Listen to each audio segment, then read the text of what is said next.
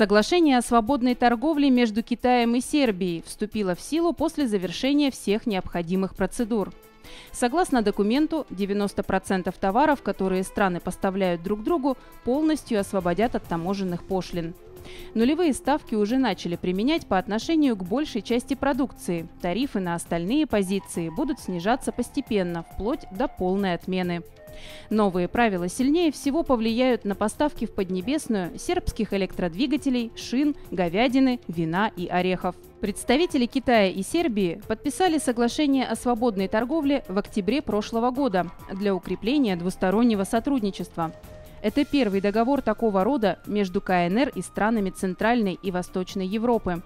А во всем мире уже 22 государства стали партнерами Китая по свободной торговле.